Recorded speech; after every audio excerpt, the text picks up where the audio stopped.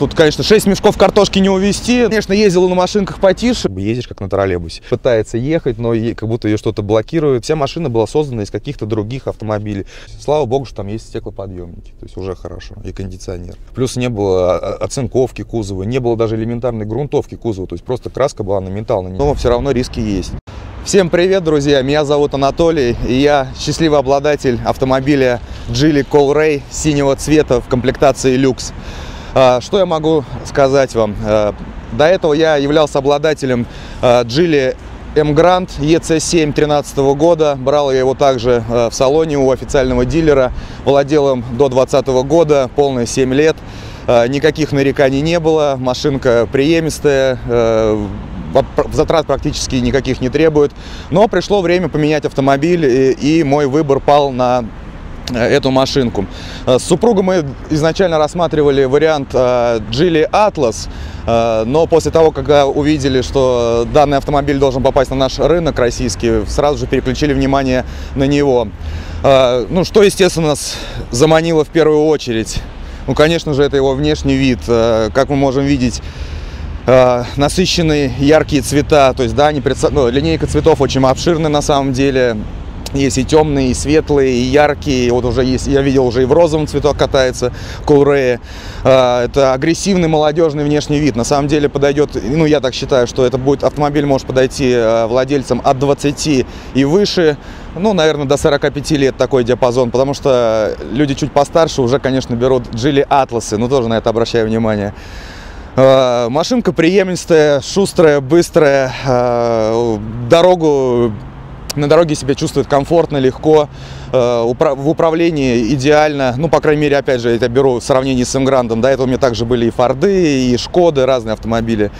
Вот. Кстати, я был персональным водителем, работал на машинах бизнес-класса, то есть и BMW, и Mercedes. Но на самом деле, могу сказать, ничем не уступает по салону. Что-то даже есть от BMW, там какие-то черты в салоне прослеживаются.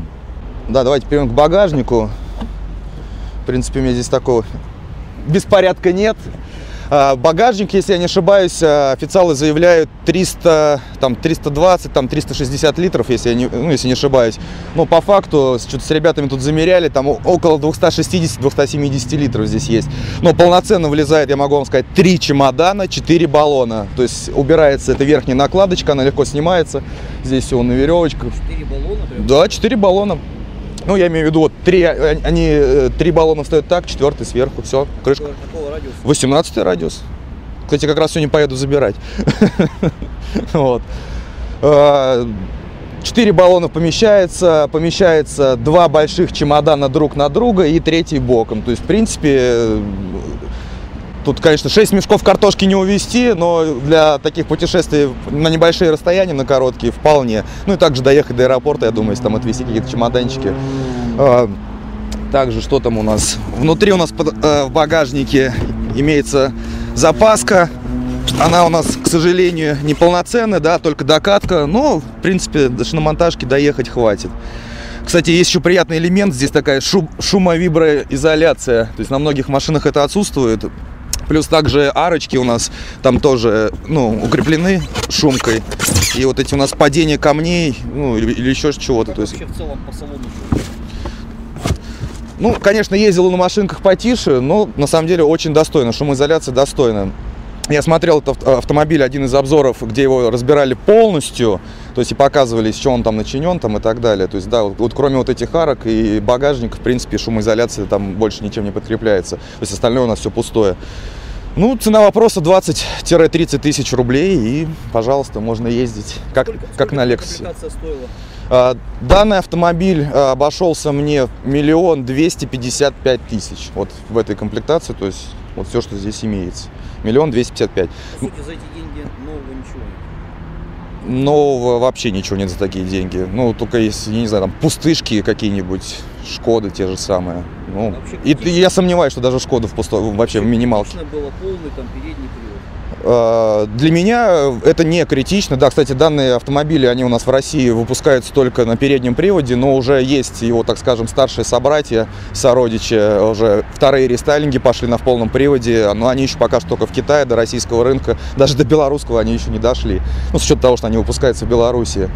А, мне этот был не критично, потому что я передвигаюсь по, э, по городу, живу я в Зеленограде, то есть район Москвы, здесь у нас, в принципе, дороги постоянно чистятся, э, проблем с этим нет. Ну, иногда выезжая на дачу, но то же самое. То есть вот, это все рядышком, у нас там дороги все чистятся, проблем нет. Конечно, уже для деревень, э, ну, конечно, полный привод будет поинтереснее. Но опять же, хочу заметить, что здесь э, достаточно высокий клиренс. Э, официалами заявлено 196 сантиметров. Ну, также замерял, там 190, то есть 19 сантиметров полноценные свои есть. То есть, так скажем, ближе к, ну, такой уже кроссовер городской, но при этом все равно это хэтчбэк, такой завышенный хэтчбэк идет. Э, есть один нюанс, э, тоже на что обращу внимание, это бензобак, он низко посажен, э, находится прям сразу под запаской, он пластиковый, ну, рекомендую, конечно, установить защиту на него. Также это можно все приобрести у официального дилера, вот. Но если ездить, опять же, аккуратно, по городу. Ну, думаю, в принципе, это ну, необходимости не будет. Он сделан из плотного пластика, но все равно риски есть. Мой рост метр восемьдесят два. Э, сиденье я поставил, то есть как бы по арке. Чтобы сразу как бы все видели, да, вот такое расстояние, ну, сантиметров 10 у меня еще здесь есть. Это с учетом того, что сиденье заднее немножко откинуто назад. А, также у нас здесь имеется подогрев задних сидений, есть USB зарядка. Ну, это так, это подлокотник у нас имеется с подстаканниками. В них вон есть такие резиночки, которые достаются. Можно все это протереть, помыть, убрать. Детское кресло помещается, сделал, потому что у нас здесь тканевый салон э, в этой комплектации такую небольшую накладочку стоит 150 рублей в любом, не знаю, на, на любой заправке, чтобы ребенок не пачкал ногами. Э, что тут еще у нас есть? Подлокотники, ой, подлокотники эти, подголовники, которые регулируются по высоте. Крыша достаточно, вот здесь такие небольшие проемы, вот я в кепке сижу, да, то есть вот могу снять то есть тоже такие небольшие проемы сделаны здесь вот в данной части углубления для того, чтобы головой там не бился на кочках и так далее. В связи с тем, что здесь панорамная крыша, то есть все это убирается вовнутрь. Здесь для этого сделана небольшая выемка. Свет достаточно яркий на самом деле, но ночью, днем здесь это не увидеть. Ручки, крючки здесь есть. Помимо того, что они на ручках, здесь идут крючки, еще дополнительно здесь у нас спереди тоже приятная такая функция. В принципе, кармашки полноценные. Ну, в том сиденье тоже аналогично. Очень все приятно, достойно. Пересядем за руль? Да, давайте пересядем. А, еще же у нас стеклоподъемники сзади, которые полностью доводчики автоматические. Пересели за руль. Заводится она у нас с кнопочки. У нас тут бесключевой доступ имеется. Э, что у нас спереди? Что нравится, что не нравится. Так, ну, конечно же, нравится вообще э, вся эта картинка. То есть чувствуешь себя сразу же в каком-то космическом шаттле. То есть вот этот экран заманчивый. Экран, кстати, несъемный. Многие тоже почему-то меня спрашивают. То есть снимается, он достается, да, наверное, это... Да, было бы, наверное, на самом деле, как идея очень интересно. Там, да, если бы он снимался бы как планшет, то есть можно было и как ключ его воспользоваться. Нет, он не снимается, прикреплен намертво. Здесь три кнопочки, дам включить, громкость. Э, также все это, естественно, с руля дублируется. в целом по посадке, вот, а. высокие, ну, некоторых проблем его сесть. Еще раз говорю, я даже вот в настоящий момент сижу, то есть у меня еще кресло есть, куда покататься назад-вперед. Э, оно регулируется также по высоте, руль у нас э, регулируется в нескольких плоскостях. Я себя здесь чувствую абсолютно комфортно, то есть, э, не знаю, места мне достаточно. Такого, что руки уже до руля нормально достают? Руки достают а, отлично. Изгибать. Нет, ничего такого нет. То есть, говорю, опять же, можно все это отрегулировать, кому как удобно. Руль, рулевая колонка, она выезжает вперед-назад, вверх-вниз. То есть, как бы это все все легко, все просто, все это регулируется. Подлокотничек катается, да, открывается здесь достаточно глубокий багаж. Здесь есть выемки для телефонов, э, такие, в принципе, многие даже не обращают на них внимания изначально. Ну, кто не знает, здесь есть у нас для телефончиков. Эта штучка достается. Если кто-то хочет ставить большие бутылки, также они регулируемые по объему э, бутылок. Здесь разъем для, карток, э, для карточек, здесь разъем для телефона. В этой комплектации у нас отсутствует э, э, круговой видеообзор там, да, то есть у нас получается имеется только камера, которая работает в правом зеркале, она у нас, ну и на заднюю скорость, когда включаем, то есть когда назад мы трогаемся. Пар, да, да, для парковки. Ну, естественно, задние партроники. Ну, на самом деле, езжу по зеркалам. Зеркала очень широкие. Видно, ну, обзор очень хороший. Ну, не знаю, мне очень здесь комфортно, на самом деле. Рекомендую. Дефлекторы такие очень приятные, на самом деле, сделаны таким необычным образом. Кстати, очень долго искал, как они вообще закрываются. Просто кто не знает, они вот доводятся в одну из, ну, влево либо вправо, и все, вот они полностью перекрываются в одну из сторон, то есть она как заглушилась, так они открываются. То есть здесь тоже такие достаточно большие дефлекторы, обдув хороший, печка здесь, то, что надо, там на 22, здесь уже можно все спокойно раздеваться, и уже, кажется, ощущается, как будто все 25 градусов. Э, сзади, честно, вожу двух с половиной годовалого ребенка, она никогда не, ну, дочь у меня никогда она не жаловалась. Ну, так вот прям вот объективно, ну, вернее, чтобы субъективное мнение спросить, что-то взрослых не возил, не знаю, не могу сказать. Вот. Но я думаю, в салоне он полностью нагревается, то есть, как бы, да, здесь есть э, внутренняя циркуляция воздуха, то есть, как бы, температура доводится, ну, как надо. Очень, конечно, классная вот эта штучка в плане панорамной крыши, романтикам, любителям посмотреть на звезды, ну и вообще, кто хочет себя почувствовать э, как бы не под давлением, не под, не под колпаком, так скажем, а немножко, чтобы пошире твой, твой обзор э, ну, увеличивался. Рекомендую ездить с открытой крышей, мне на самом деле доставляет приятное удовольствие. Ну, естественно, есть люк, сейчас дождь идет, не хочу открывать, чтобы... Чего, чего бы добавили бы сюда? Чего не хватает? Чего не хватает? Чего не хватает? Честно, ну, а, вот на самом деле они сделали такое решение, как у Volvo, я так понял. То есть это кармашек здесь, да, вот и имеется внутри, по, под этой, под центральной консолью. Вот этот кармашек я, наверное, все-таки бы, ну, не стал бы его прятать туда вовнутрь. А вот, с, ну, с этой панелью как-то поработал бы. То есть, наоборот, как бы сделал дополнительные, ну, отсеки, то есть уже непосредственно сверху, чтобы доступ был сверху, потому что снизу это, ну, действительно неудобно добавил бы в эту комплектацию обязательно, ну вот опять же, я ездил до этого на М-Гранде, у меня был электропривод сидений везде, ну, по крайней мере, передние, э, поэтому я бы себе добавил бы хотя бы водительское электропривод сидений, но в люксовую комплектацию, я думаю, это не так прям проблематично и критично устанавливать, потому что они идут только уже на комплектации флагшип и флагшип спорт электропривод э, сидений. А, ну, складные зеркала можно добавить, конечно, при закрытии автомобиля. Когда автомобиль, если у нас окна открыты, там, да, люк или еще что-то, то есть при закрытии автомобиля все автоматически закрывается в этой комплектации в люкс. Ну, естественно, в остальных аналогично. Но вот можно было бы еще добавить, чтобы зеркала складывались. Так, в принципе, я говорю, панель очень достойная, места предостаточно. Это ручка при поворотах, кстати. Ну, думал, вообще не буду ей пользоваться. Нет, очень так периодически хватаюсь, практи- практично. Когда выбирали, робот не отпугнул? Нет, меня, в принципе, робот не отпугнул по, по одной простой причине, что, я еще раз говорю, я являлся владельцем уже э, автомобиля Джили, у меня там стоял вариатор, то есть также, когда я его рассматривал изначально, ездил на автоматах, да, как бы вариатор у меня как-то что-то казалось нечто нереальное. Нет, просто как бы ездишь как на троллейбусе. А здесь э, робот, ну, там два сцепления, она как бы там, э, не знаю, я думаю, здесь проблем не должно быть с коробкой, опять же, за счет того, что это разработка, ну, этот автомобиль разрабатывался совместно с Volvo, я думаю, там ребята подумали. Просто я уже в данном случае как бы непосредственно рассчитываю на сам автомобиль Geely, на саму марку Geely, поэтому я им полностью доверяю и коробки также.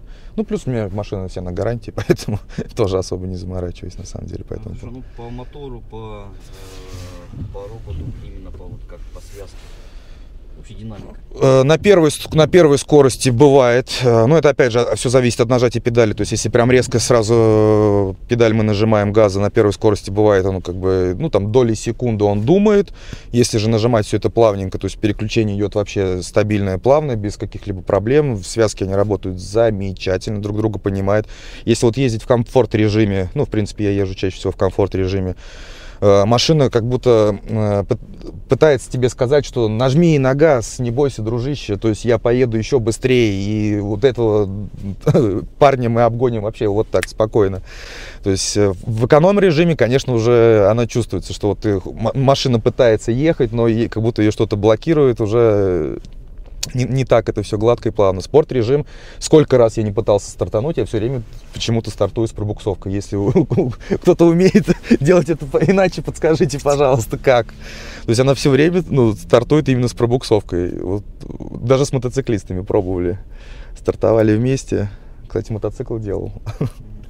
Вот. Не знаю, у меня, у меня тут трех, трех, ну, трехцилиндрный двигатель стоит, да, 1.5. Они, кстати, в любой комплектации и ком, от комфорта до флагшип спорта стоит один и тот же двигатель, друзья.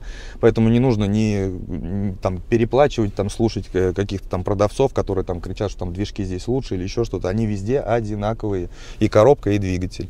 То есть это трехцилиндрный двигатель, 1.5 150 лошадей турбированные. Да, белорусы говорят, что там 177 лошадок у них есть. Э, и они у них там катаются. Якобы у нас здесь по документам провели их как 150 лошадей. Ну, ну для того, чтобы перегнать в Россию, чтобы налог меньше платить. Но на самом деле там 177 лошадей. Ну, не знаю по 177. Но 150 своя точно выдает. Как-то ездили мы тут с е, э, Mercedes E200, вставали вместе. Ну, на корпус спокойно она прям делает его смело. Хотя разгон у них одинаковый, то есть заявлен 8,4 секунды до 100 километров, они абсолютно одинаково разгоняются вот с Мерседесом, но потом в процессе как бы она начинает его ну, просто обгонять. Сколько примерно на ней будете кататься? Э, ну, я на самом деле рассчитывал ее на долгий срок, это где-то, наверное, ну, до 10 лет. Потом в дальнейшем буду менять также на Джили. Какой пробег в год примерно? Ну, на данный момент я ее приобрет, приобретал 7 сентября, да, у нас сейчас конец октября, 20 числа.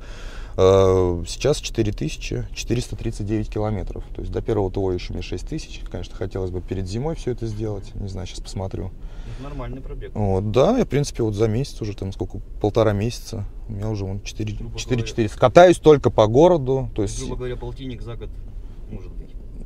Думаю, да. Ну, обычно мне там, ну, 35 точно выходит. ну так, я думаю, под полтинник еще, конечно, не накатывал, но думаю, может и выйти. Просто стали ездить чаще. Мне э, также им управляет еще супруга. Жене очень нравится тоже. Хорошо, если было бы э, ну, 2 миллиона 200, что бы купили бы? 2 200. 2 200. Ну, не знаю, можно было бы посмотреть, не знаю даже.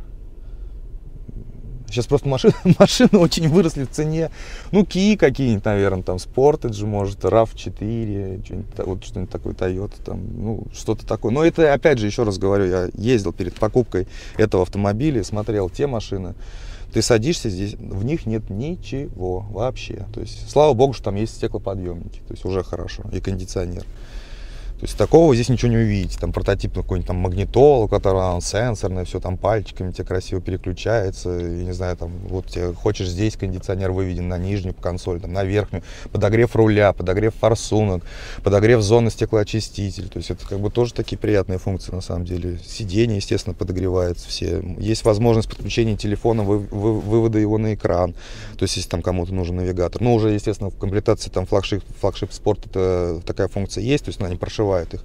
В данной комплектации такой функции нет у нас. Вот. Что... Есть, по сути, китайцев бояться не стоит. Нет, абсолютно не стоит. Я еще раз говорю, у меня вот родители взяли также Geely Atlas тоже максимальной комплектации, вот уже ездит как с февраля месяца, получается, 2020 года. Ну, то есть никаких проблем, никаких нареканий э, вообще нет. То есть предыдущие э, вот опять же, вот, который вот у меня был M-Grand, это была российская сборка Карачаева-Черкесии, да, там, там вся машина была создана из каких-то других автомобилей. Там движок от Toyota, там стоял, там оптика французская, коробка бельгийская, салон, салон американский, то есть, по сути, ничего своего не было, никаких там, ну, своих каких-то нов, новшеств Lexus, там ничего в машине не было. Плюс не было оцинковки кузова, не было даже элементарной грунтовки кузова. То есть просто краска была на металл нанесена, любой камушек, любой скол. И мне вот очень сильно, это когда у меня был белый автомобиль был, мне это очень сильно на самом деле напрягало, то что любой камушек у меня сразу машина начинает свести. Вот. В данном уже случае, когда уже идет белорусская сборка, э, то есть там чуть ли не каждый болтик там пронумерован, как Великую Отечественную войну, там какой цех и, и там какой человек эту, эту детальку там закрутил, произвел. Конечно, когда полностью оцинкован кузов, там, да, там, ну, есть там какой-то, как доп. опции, там делает антикором себе покрывает там еще снизу. То есть ты понимаешь, что здесь как, как минимум кузов вечный. Да, конечно, еще пока неизвестно, что там с двигателем, потому что это, говорю, все-таки, ну, хоть и Volvo там, да, но он трехцилиндровый, то есть, естественно, гораздо быстрее все это будет, э, ну, идти износ этого двигателя, двигателя, потому что всего лишь три цилиндра, они быстро будут все это работать, быстро все это будет ну, стираться, так скажем. Но я все равно рассчитываю, что там люди подошли с умом, с головой, раз они смогли сделать и такой, ну, как бы, и внешний, и внутренний, качественный автомобиль, я считаю. Вот так.